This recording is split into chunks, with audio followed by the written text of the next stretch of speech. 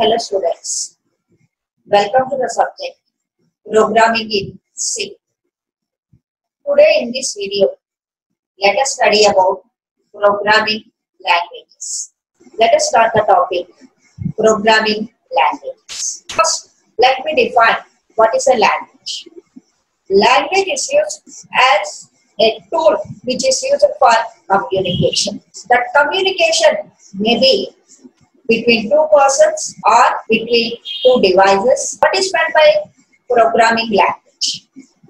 A language which is used to write programs is called as programming language. Language అంటే భాష ఆ భాషను ఎందుకు ఉపయోగిస్తాం ఇద్దరి మధ్యలో మాట్లాడుకోవడానికి కోసం లాంగ్వేజ్ని వాడతాం ఆ ఇద్దరు మనుషులు అవ్వచ్చు డివైజెస్ అవ్వచ్చు ప్రోగ్రామింగ్ లాంగ్వేజ్ అంటే ఏంటి?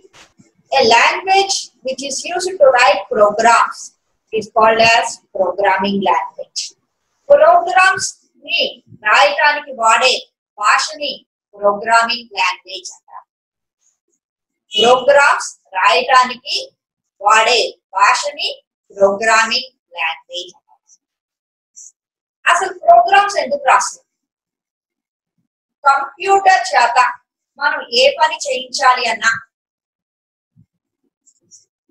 ఆ పనిని ప్రోగ్రామ్ ద్వారా కంప్యూటర్ చెప్తాం. ఆ ప్రోగ్రామ్ రన్ అవ్వడం వల్ల కంప్యూటర్ మనకి ఆ పని చేసి పెడుతుంది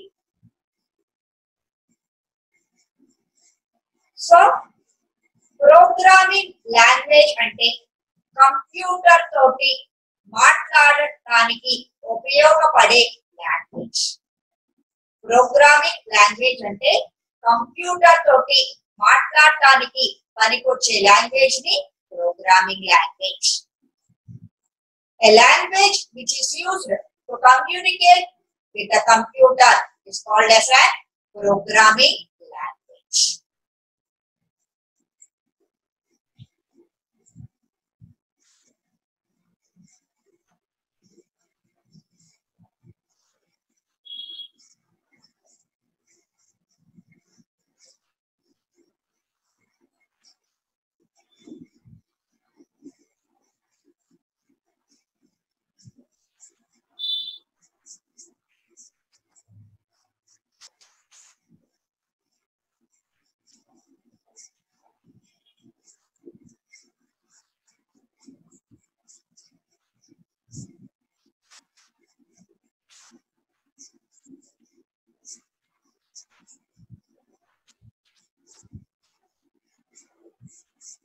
So programming language అంటే ప్రోగ్రామ్స్ రాయటానికి ఉపయోగపడే లాంగ్వేజ్ని ప్రోగ్రామింగ్ లాంగ్వేజ్ అంటారు. ఇంకొక విధంగా డిఫైన్ చేయాలి అన్నప్పుడు ఆ ప్రోగ్రామ్స్ ఎవరి కోసం రాస్తున్నాం? కంప్యూటర్ కోసం రాస్తున్నాం కాబట్టి కంప్యూటర్ తోటి మాట్లాడటానికి పనికొచ్చే లాంగ్వేజ్ ప్రోగ్రామింగ్ లాంగ్వేజ్. అంటే కంప్యూటర్ తోటి మాట్లాడటం అంటే ఫిజికల్గా మాట్లాడడం మన ఇన్స్ట్రక్షన్స్ ద్వారా మాట్లాడటం. కంప్యూటర్ తోటి మాట్లాడటానికి పనికొచ్చే లాంగ్వేజ్ని programming language now let us discuss about types of programming language so కంప్యూటర్ని వాడటం బిగిన్ చేసింది చాలా సంవత్సరాల క్రితం సో కంప్యూటర్ని వాడడం స్టార్ట్ చేసిన దగ్గర నుంచే కంప్యూటర్ తోటి మాట్లాడే భాష కావాలి. అదే ప్రోగ్రామింగ్ లాంగ్వేజ్ అని సో ఆ భాష చాలా రకాలుగా మారుతా వస్తుంది.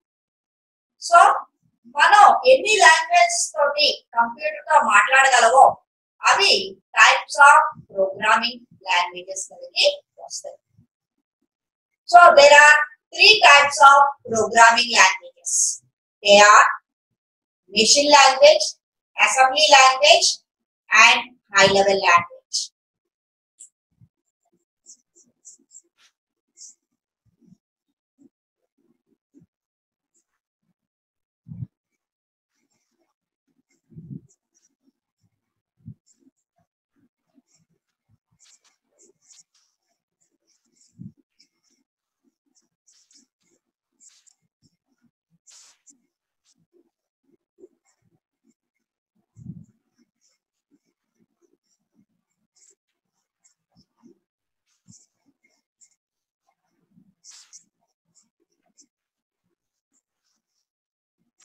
There are three types of programming language. They are machine language, assembly language, high level language.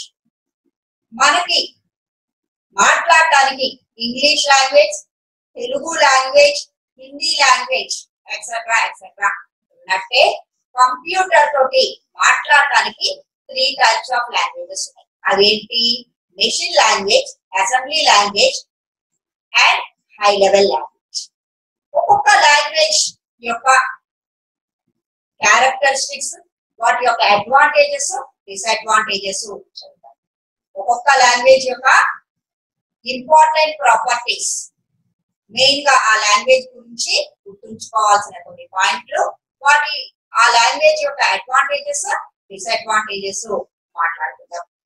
First let start with machine language computer డెఫినేషన్ని మనం ఒకసారి చూసినట్టయితే Computer is an electronic device which takes input, processes it and produces the output.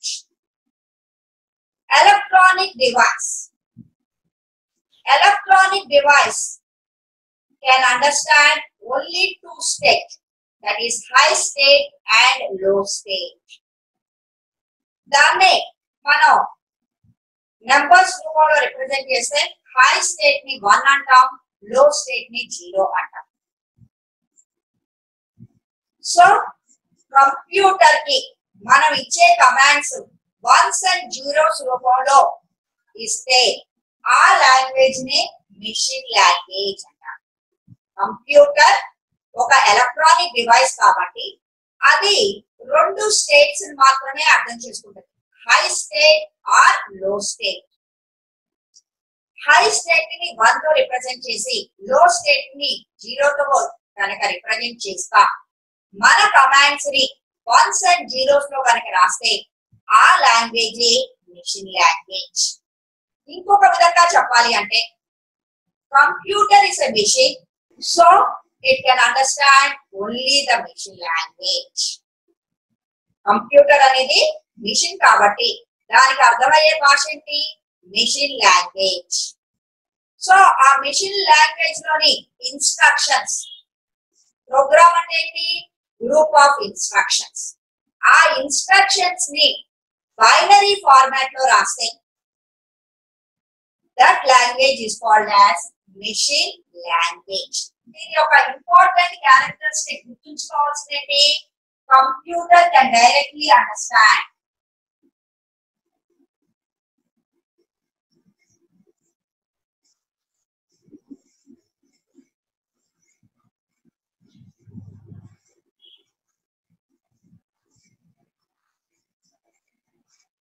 computer can directly understand. Next. Instructions.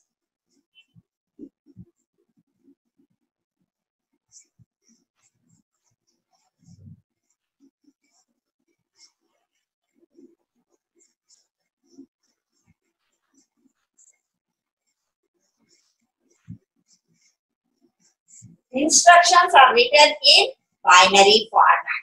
These are the two important points that we have to remember. Computer is a machine, so it can understand only the machine language. The instructions given to the computer, if they are written in binary format, then that language is called as machine language. Computer అనేది ఒక machine కాబట్టి మెషిన్కి అర్థమయ్యే language machine language అంటే కంప్యూటర్కి డైరెక్ట్గా అర్థమయ్యే language machine language next ఆ computer చేత పనిచేయించడానికి ప్రోగ్రామ్స్ రాస్తాం. ప్రోగ్రామ్ అంటే గ్రూప్ ఆఫ్ ఇన్స్ట్రక్షన్స్ ఆ ఇన్స్ట్రక్షన్స్ని బైనరీ ఫార్మాట్లో రాస్తాయి. అంటే వన్స్ అండ్ జీరోస్ని యూజ్ చేసి రాస్తే ఆ లాంగ్వేజ్ని మెషిన్ లాంగ్వేజ్ అంటారు so these are the two important points that we have to remember advantage ఏమవుతుంది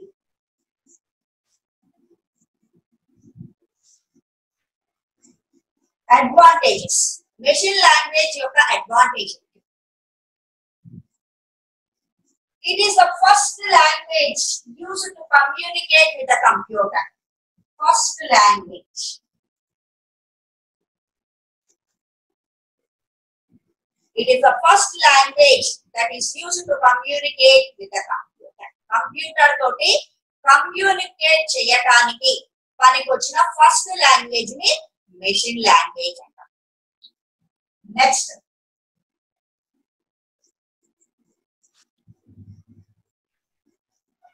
directly understandable.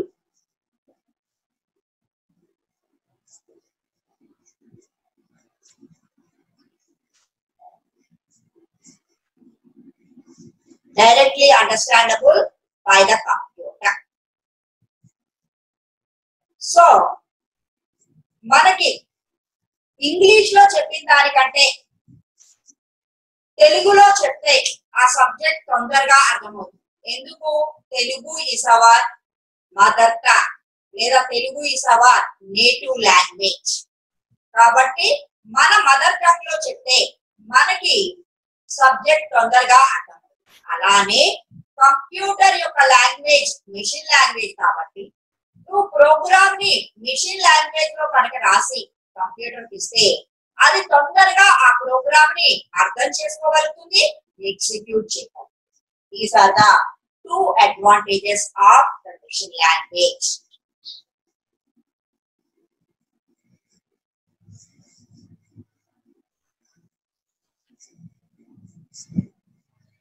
Disadvantages. What are the disadvantages? First disadvantage is machine dependent.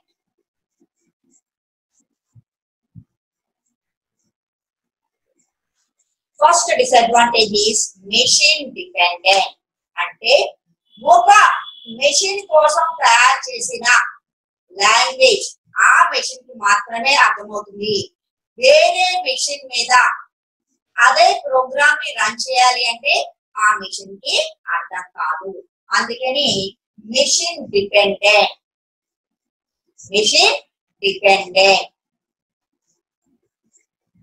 second difficult to write.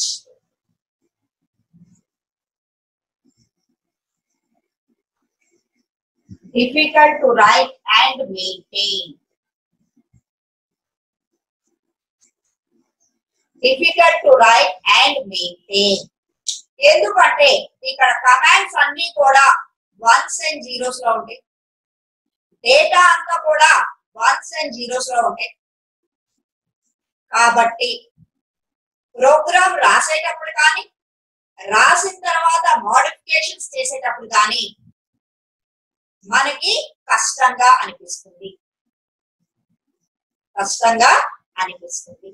So these are the disadvantages of the machine language machine dependent. ఎందుకు అంటే machine కోసం ఆ language తయారు చేశారో ఆ ఒక్క machine కే ఆ లాంగ్వేజ్ అర్థమవుతుంది. అంటే అలాంటి గ్రూప్ ఆఫ్ కంప్యూటర్స్ ఇప్పుడు కంప్యూటర్స్లో డిఫరెంట్ డిఫరెంట్ మోడల్స్ వస్తాయి. నెక్స్ట్ ఆ మోడల్లో డిఫరెంట్ డిఫరెంట్ వర్షన్స్ వస్తాయి. సో ఏ మోడల్కి ఏ వర్షన్కి అయితే నువ్వు ఆ లాంగ్వేజ్ని డెవలప్ చేసావో ఆ మోడల్కి ఆ వర్షన్లో ఉన్న సిస్టమ్కి మాత్రమే అర్థమవుతుంది పక్క సిస్టమ్స్కి అర్థం కాదు అందుకని machine language is machine dependent next second disadvantage ఏంటి difficult to write and maintain machine programs so program అంటే గ్రూప్ ఆఫ్ ఇన్స్ట్రక్షన్స్ అని చెప్పాం. ఇన్స్ట్రక్షన్స్ మెషిన్ లాంగ్వేజ్లోని ఇన్స్ట్రక్షన్స్ ఎలా ఉంటాయి? అన్ని కూడా వన్స్ అండ్ జీరోస్ ఫార్మాట్లో ఉంటాయి. కాబట్టి అంత ప్రతిదీ కూడా వన్స్ అండ్ జీరోస్లో గుర్తుంచుకొని జాగ్రత్తగా రాయడం కష్టం. రాసిన తర్వాత వాటిలో ఎక్కడైనా మాడిఫికేషన్స్ చేయాలి అంటే అంతకంటే కష్టం. కాబట్టి difficult to write and maintain so first machine language గురించి మనం గుర్తుంచుకోవాల్సిన మెయిన్ పాయింట్స్ ఏంటి? Machine language is a language which is directly understandable by your machine కంప్యూటర్కి ఈజీగా అర్థమయ్యే language machine language next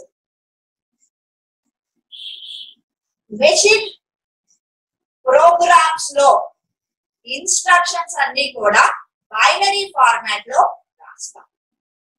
Advantage machine language is the first language use to communicate with the computer so first computer తోటి communicate చేయడానికి design చేసిన language machine language next second advantage కంప్యూటర్కి ఆ language తొందరగా అవుతుంది కాబట్టి ఆ లాంగ్వేజ్లో మన ప్రోగ్రామ్స్ రాస్తే దాని అవుట్పుట్ తొందరగా వస్తుంది. దాని అవుట్పుట్ తొందరగా వస్తుంది. నెక్స్ట్ డిసడ్వాంటేజెస్ మెషిన్ డిపెండెంట్ ఒక మెషిన్ కోసం తయారు చేసిన లాంగ్వేజ్ ఆ మిషన్కి మాత్రమే అర్థమవుతుంది. వేరే టైప్ ఆఫ్ మిషన్స్కి అర్థం కాదు. అందుకని machine languages machine dependent next machine programs రాయటం కష్టం. రాసిన తర్వాత వాటిలో ఏమన్నా ఎర్రర్స్ వచ్చి మోడిఫికేషన్ చేయాలి అంటే అది అంతకంటే కష్టం. So this is all the information about the machine language now let us discuss about assembly language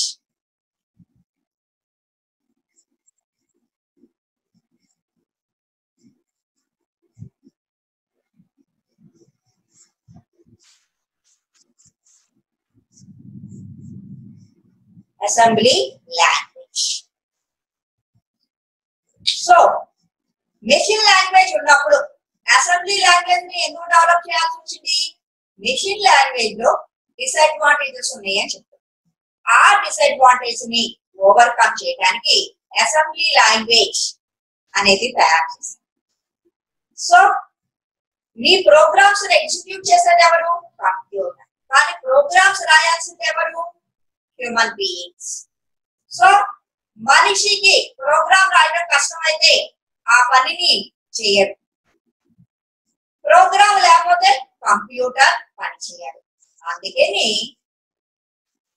they have developed a language which will be easy to write programs ఆ language assembly language machine లాంగ్వేజ్లోని డిసడ్వాంటేజెస్ని overcome చేయడానికి they have developed assembly language అక్కడ రెండు disadvantages చెప్పాం. ఏంటి? Machine dependent difficult to write programs and maintain. Second డిసడ్వాంటేజ్ను overcome చేస్తా. Assembly లాంగ్వేజ్ని డెవలప్ చేశాం అక్కడ మెషిన్ ప్రోగ్రామ్స్ రాయడం ఎందుకు కష్టం. ప్రతిదీ కూడా వన్స్ అండ్ జీరోస్లో ఉంటాయి. అన్ని కోడ్స్ గుర్తుంచుకోవాలి అంటే కష్టం. దాని బదులు అసెంబ్లీ లాంగ్వేజ్లో చిన్న చిన్న ఇంగ్లీష్ వర్డ్స్ వాడతారు. దాన్నే నిమోనిక్స్ నిమానిక్స్ అంటే small English words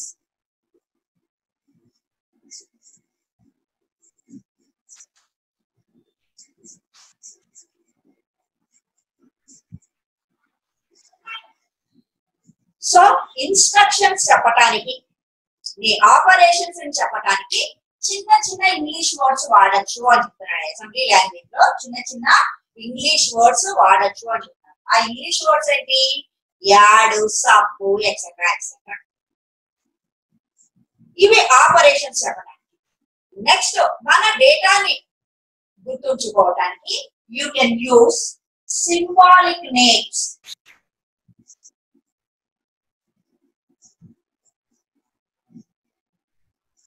such as R one R two ఇట్లాంటి చిన్న చిన్న పేర్లని వాడుకోవచ్చు అని. అంటే నీ డేటాని పంపించేటప్పుడు ఆ డేటాని ఎక్కడో ఒక చోట దాచిపెట్టి ఆ దాచిపెట్టిన పేరు చెప్పచ్చు. అది ఎక్కడ దాచిపెట్టావో దాని పేరు చెప్పచ్చు. సో అసెంబ్లీ లాంగ్వేజ్లో we can use mnemonics and symbolic names to write the instructions. Instructions రాసేటప్పుడు మొత్తం బైనరీ ఫార్మాట్లో కాకుండా చిన్న చిన్న ఇంగ్లీష్ వర్డ్స్ ఆ ఇంగ్లీష్ వర్డ్స్ దేనికి? టు టెల్ ద ఆపరేషన్ ఏ పని చేయాలో చెప్పడానికి. నెక్స్ట్ సింబాలిక్ నేమ్స్ నీ డేటాను ఎక్కడ దాచిపెట్టావో వాటి పేరు చెప్పడానికి సింబాలిక్ నేమ్స్ వాడచ్చు అంటున్నారు. సో కాబట్టి మనకి నెంబర్స్ గుర్తుంచుకోవటం కంటే పేర్లు గుర్తుంచుకోవటం ఈజీ పేర్లు గుర్తుంచుకోవటం ఈజీ అవి కూడా పర్పస్ఫుల్గా పెట్టిన. ఎడిషన్ చేయడానికి యాడ్ అనే వర్డ్ వాడతాం. సబ్ట్రాక్షన్ చేయడానికి సబ్ అనే కమాండ్ వాడతాం. కాబట్టి ఈజీగా గుర్తుంటాయి. అంటే అసెంబ్లీ లాంగ్వేజ్లో ప్రోగ్రామ్స్ రాయటం మెషిన్ ప్రోగ్రామ్స్ రాయటం కంటే ఈజీ మెషిన్ ప్రోగ్రామ్స్ రాయటం కంటే ఈజీ కాబట్టి ఫస్ట్ పాయింట్ ఏంటి? Assembly language contains instructions which uses mnemonics and symbolic names next ఇక్కడ కంప్యూటర్ అనేది మిషన్ కాబట్టి దానికి అర్థమయ్యే ఏకైక లాంగ్వేజ్ మిషన్ లాంగ్వేజ్ కానీ ఆ మిషన్ లాంగ్వేజ్ యూజ్ చేసి ప్రోగ్రామ్స్ రాయడం కష్టం అవుతుంది కాబట్టి మనం మన కోసం అంటే ప్రోగ్రామర్స్ కోసం అసెంబ్లీ లాంగ్వేజ్ అనేది డెవలప్ చేసాం కానీ ఈ అసెంబ్లీ లాంగ్వేజ్ కంప్యూటర్కి అర్థం కాదు కాబట్టి we have to use a translator translator known as assembler. Translator known as assembler. Translator ఎందుకు కంప్యూటర్ ఏమో? మెషిన్ లాంగ్వేజ్ తప్ప అసెంబ్లీ లాంగ్వేజ్ తెలియదు మనకేమో అసెంబ్లీ లాంగ్వేజ్లో ప్రోగ్రామ్స్ రాయడం ఈజీ కాబట్టి ఈ ఇద్దరికి మధ్యలో మీడియేటర్ కింద ఈ ట్రాన్స్లేటర్ పనిచేస్తుంది. ఆ ట్రాన్స్లేటర్ ఏం చేస్తుంది?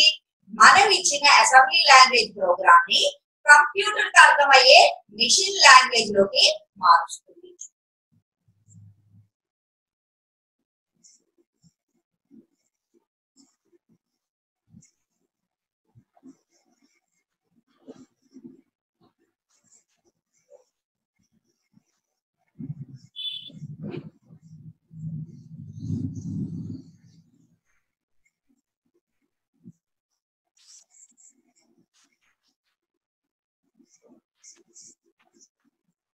సో ఈ అసెంబ్లర్ అనే ట్రాన్స్లేటర్ని యూజ్ చేసి ఏం చేస్తున్నావు?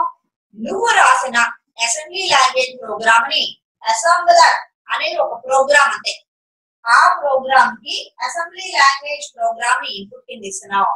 అవుట్పుట్ కింద అదే ప్రొడ్యూస్ చేస్తుంది? మెషిన్ ప్రోగ్రామ్ని ప్రొడ్యూస్ చేస్తుంది. నెక్స్ట్ అసెంబ్లీ లాంగ్వేజ్ యొక్క అడ్వాంటేజ్ ఏంటి?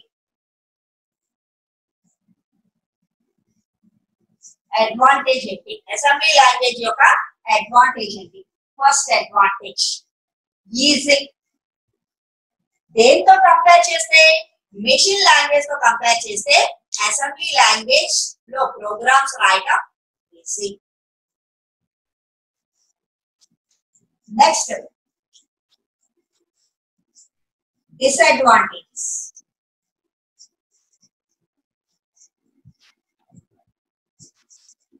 disadvantage disadvantages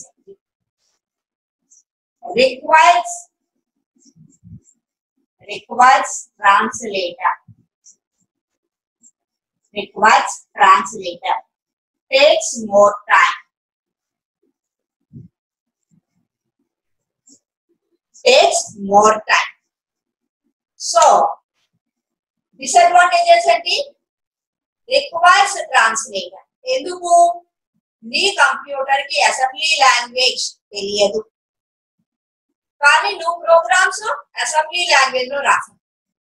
దానికి అర్థమయ్యే భాషలోకి కన్వర్ట్ చేయడానికి you require a translator you require a translator. అది డిసడ్వాంటేజ్ నెక్స్ట్ అసెంబ్లీ లాంగ్వేజ్లో రాసిన ప్రోగ్రామ్ ఎగ్జిక్యూట్ అవ్వడానికి ఎక్కువ టైం పడుతుంది. దేనితో కంపేర్ చేస్తే మెషిన్ లాంగ్వేజ్ ప్రోగ్రామ్తో కంపేర్ ఎందుకు? మెషిన్ లాంగ్వేజ్ ప్రోగ్రామ్ డైరెక్ట్గా కంప్యూటర్ అర్థమవుతుంది కాబట్టి వెంటనే ఎగ్జిక్యూట్ చేస్తాం. కానీ అసెంబ్లీ లాంగ్వేజ్ ప్రోగ్రామ్ ఫస్ట్ ఏం చేయాలి? ఫస్ట్ ట్రాన్స్లేట్ చేసుకొని తర్వాత ఎగ్జిక్యూట్ చేయాలి. అంటే ఎంతో కొంత ఎక్స్ట్రా టైం పడుతుంది. కాబట్టి it takes more time so these are the points of the assembly language assembly language గురించి మనం గుర్తుంచుకోవాల్సిన పాయింట్ ఏంటి? In assembly language instructions are return using mnemonics and symbolic names mnemonics అంటే చిన్న చిన్న ఇంగ్లీష్ వర్డ్స్ ఎలాంటి English words add sub etcetera etcetera.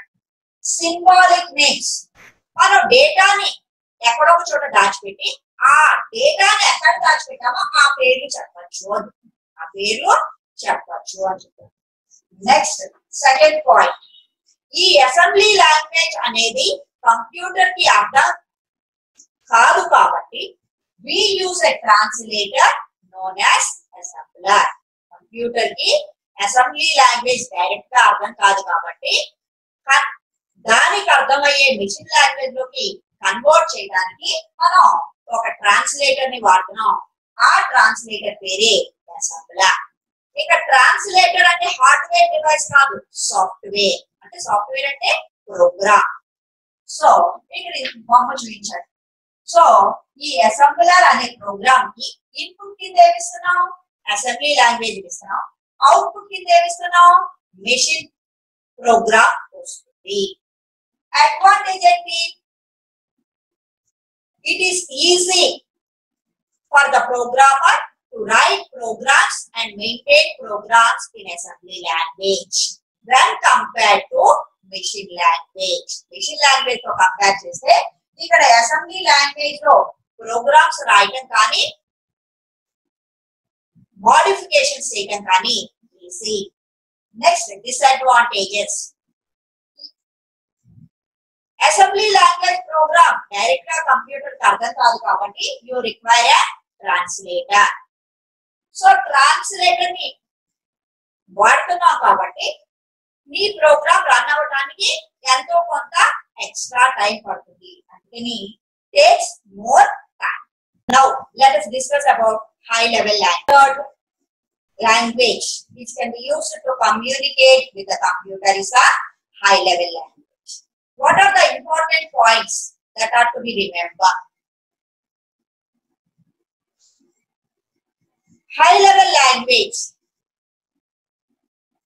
uses simple English and mathematics with certain syntax.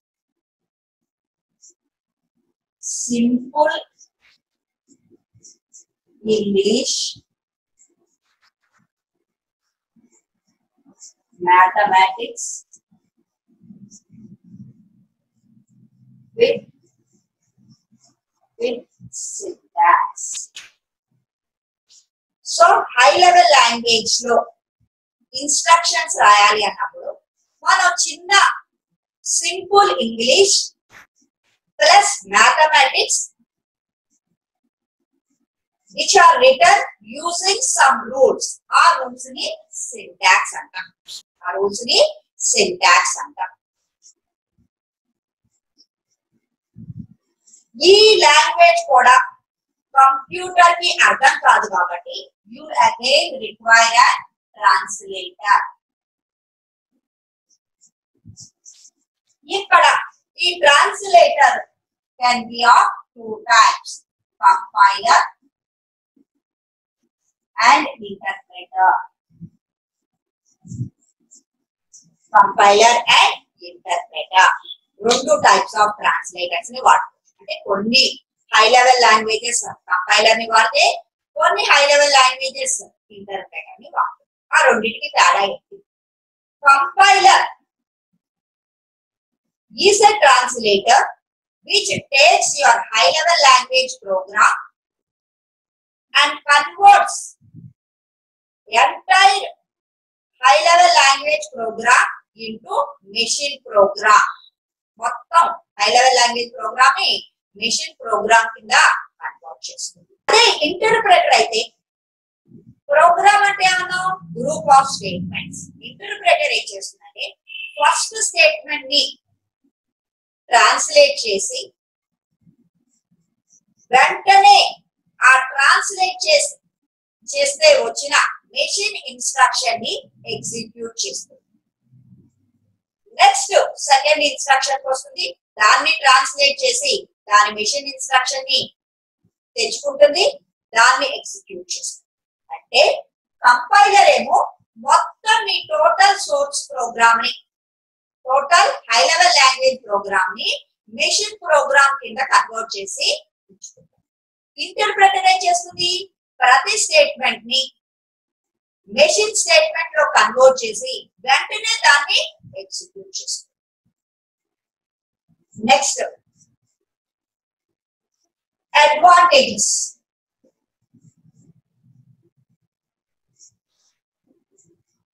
advantages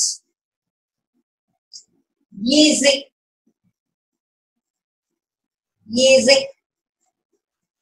అంటే high level లాంగ్వేజ్లో programs రాయటం easy దేంతో compare చేస్తే? Assembly లాంగ్వేజ్తో కంపేర్ చేసినా మెషిన్ లాంగ్వేజ్తో కంపేర్ చేసినా ఈజీగా డిసడ్వాంటేజెస్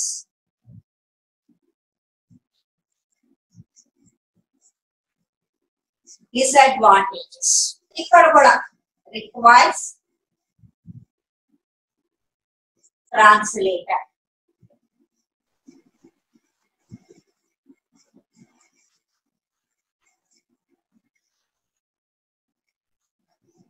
సో ఇక్కడ కూడా అవే డిసడ్వాంటేజెస్ రిక్వైర్స్ ట్రాన్స్లేటర్ ఇక్కడ దేంతో కంపేర్ చేస్తా చెప్తాం? Assembly language and machine language assembly లాంగ్వేజ్తో పోల్చిన హై లెవెల్ లాంగ్వేజ్కి ఎక్కువ టైప్ పడుతుంది. ఎందుకంటే అసెంబ్లీ లాంగ్వేజ్లో నేను a plus b plus c x is equal to a plus b plus c అని రాయాలి అంటే దాన్ని మోర్ దాన్ వన్ స్టేట్మెంట్ కింద స్ప్లిట్ చేసి రాస్తాం. అంటే ఫస్ట్ ఏని లోడ్ చేస్తాం తర్వాత బిని లోడ్ చేస్తాం తర్వాత ఆ రెండింటిని యాడ్ చేసి ఆ వచ్చిన రిజల్ట్కి సిని యాడ్ చేస్తాం. తర్వాత ఆ వచ్చిన రిజల్ట్ని ఎక్స్లో స్టోర్ చేస్తాం. అంటే మోర్ దాన్ వన్ స్టేట్మెంట్ కింద మీ కన్వర్ట్ అవుతుంది. ఇది అసెంబ్లీ లాంగ్వేజ్ ప్రోగ్రామ్లో ఈ స్టేట్మెంట్ అదే హై లెవెల్ లాంగ్వేజ్ ప్రోగ్రామ్లో ఈ స్టేట్మెంట్ని యాజ్ ఇట్ ఈస్గా రాసిస్తాం. ఈ స్టేట్మెంట్ని యాజ్ ఇట్ ఈస్గా రాస్తాం అంటే when compare to the assembly language high level language statements are converted into more number of machine statements అంటే మీ హై లెవెల్ లాంగ్వేజ్లో పది స్టేట్మెంట్లే కనపడ్డా. అక్కడ ట్రాన్స్లేషన్ జరిగిన తర్వాత అది మోర్ దాన్ టెన్ స్టేట్మెంట్స్ కింద మారచ్చు. మోర్ దాన్ టెన్ అది లెవెన్ అవ్వచ్చు ట్వంటీ అవ్వచ్చు లేదా టెన్ అవ్వచ్చు. కానీ అసెంబ్లీ లాంగ్వేజ్లో టెన్ స్టేట్మెంట్స్ ఉంటే దాన్ని ట్రాన్స్లేట్ చేసినప్పుడు కూడా మీకు టెన్ స్టేట్మెంట్స్ వస్తాయి. అంటే వన్ టు వన్ ట్రాన్స్లేషన్ కానీ ఇక్కడ high level language statements will be translated into more number of machine statements కాబట్టి ట్రాన్స్లేషన్కి ఎక్కువ టైం పడుతుంది.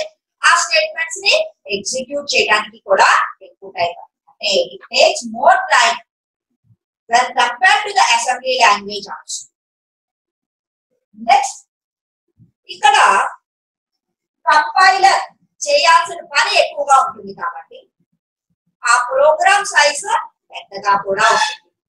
ఆ ప్రోగ్రామ్ సైజు పెద్దగా కూడా these are the some of the points that you have to remember about high level language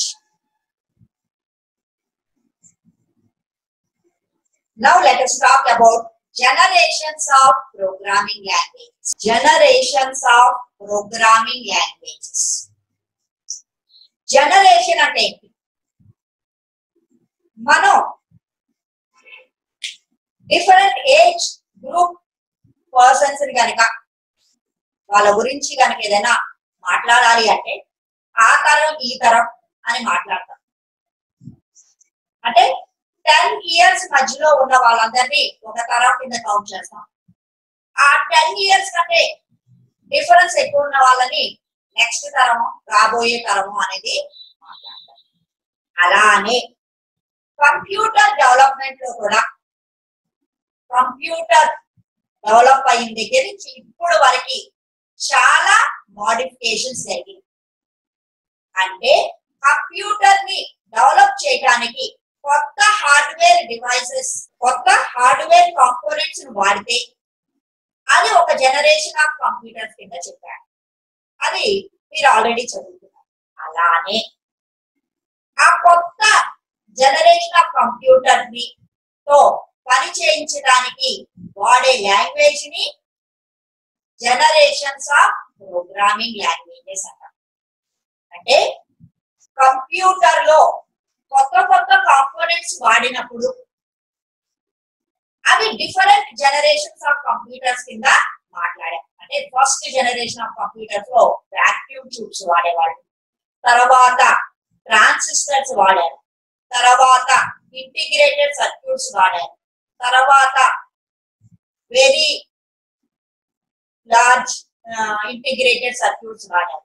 తర్వాత very very large integrated circuit components అట్లానే so computers వాడినప్పుడల్లా దానికి సంబంధించిన ప్రోగ్రామింగ్ లాంగ్వేజ్ కూడా మోడిఫికేషన్ జరుగుతా వచ్చింది. సో ఇప్పుడు వరకు మనకి ఫైవ్ జనరేషన్స్ ఆఫ్ ప్రోగ్రామింగ్ లాంగ్వేజెస్ని చూస్తున్నాం. ఇప్పుడు మనం ఫిఫ్త్ జనరేషన్ ఆఫ్ ప్రోగ్రామింగ్ లాంగ్వేజ్ని ఎక్కువగా వాడుతున్నాం. సో అవేంటి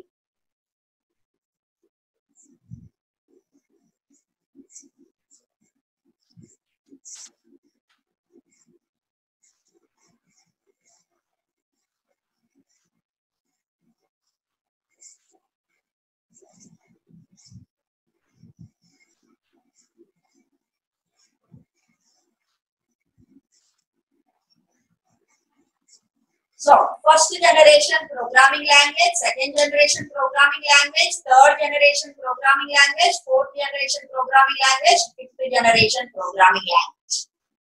So, first generation programming language is nothing but your machine language.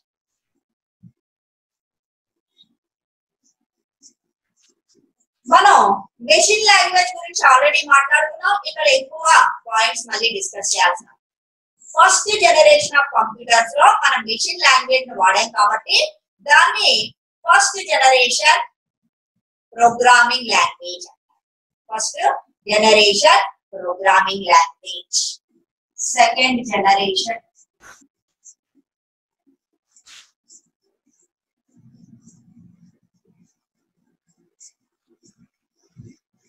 so machine language తర్వాత వచ్చిన నెక్స్ట్ లాంగ్వేజ్ ఏంటి? Assembly language so second generation language అంటే అసెంబ్లీ లాంగ్వేజ్ ఇవి ఆల్రెడీ మనం చెప్పుకున్న పాయింట్స్ అందుకని నేను ఎక్కువ డిస్కస్ చేయట్లేదు. Next third generation language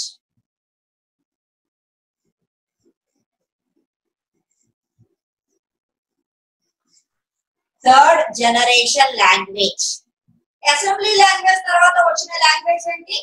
High level language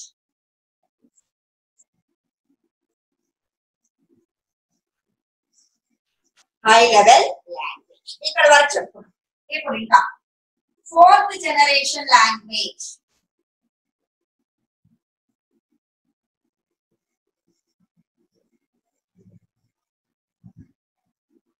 fourth generation language.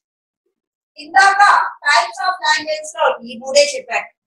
High level language అంటే ఏం చెప్పాను?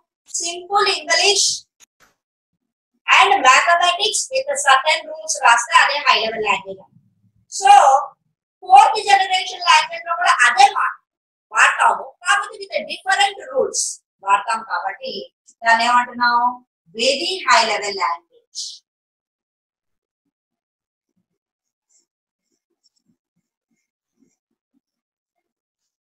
చూడండి. థర్డ్ జనరేషన్ లాంగ్వేజ్ అంటే high level language high level లాంగ్వేజ్లో మన కంప్యూటర్కి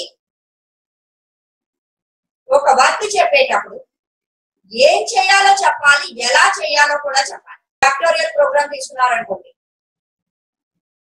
ఏం క్యాలిక్యులేట్ చేయాలో చెప్పినావు ఫ్యాక్టోరియల్ చెప్తున్నాం నీ ఇన్స్ట్రక్షన్ ద్వారా ఫ్యాక్టోరియల్ ఎలా క్యాలిక్యులేట్ చేయాలో కూడా నువ్వే చెప్తున్నావు అంటే హై లెవెల్ లాంగ్వేజెస్లో ఏమి చేయాలో చెప్పాలి. ఎవరు? ప్రోగ్రామర్. ఎలా చేయాలో కూడా చెప్పాలి. కానీ వెరీ హై లెవెల్ లాంగ్వేజ్లో నాకు ఏం కావాలో చెప్తే చాలు. నాకు ఏం కావాలో చెప్తే చాలు. Computer automatically decides how to catch. దీనికి example SQL, structured Query language structured Query language ఇక్కడ మనం కంప్యూటర్లో కొంత డేటాని దాచిపెట్టుకుంటాం. ఆ డేటాని బయటికి తీసుకురావటాన్ని క్వెరీ అంటాం. ఆ క్వెరీ లాంగ్వేజ్ ద్వారా నాకు ఏ డేటా కావాలో అది తెచ్చిపెట్టమని చెప్తున్నాం. ఎలా కావాలి అనేది మనం ప్రోగ్రామ్లో చెప్పట్లేదు. కాబట్టి మీరు ఇక్కడ గుర్తుంచుకోవాల్సిన పాయింట్ ఏంటి అంటే వెరీ హై లెవెల్ లాంగ్వేజ్లో మనం కంప్యూటర్కి మనకి ఏం కావాలో చెప్తాం. ఎలా చేయాలో మనం చెప్పం. కానీ కంప్యూటర్కి సొంత తెలివితేటలు ఏం లేవు. ఆల్రెడీ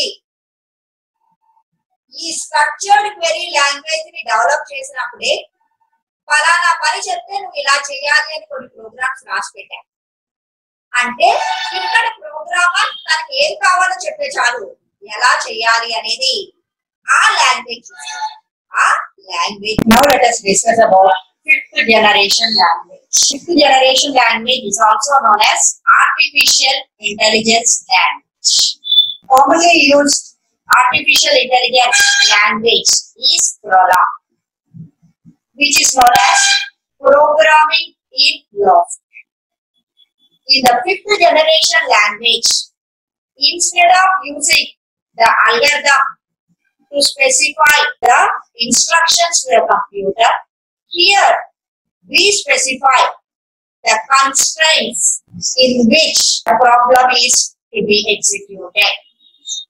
Constraints అంటే కండిషన్స్ లేదా రూల్స్ ఏ రూల్స్ మధ్యలో ప్రాబ్లం ఎగ్జిక్యూట్ కావాలో చెప్తా దాన్ని బట్టి కంప్యూటర్ మనకు కావాల్సిన వర్క్ చేస్తుంది that is the development we have done in the fifth generation language. So these are the different generations of programming languages. I will conclude the topic of programming language at this point.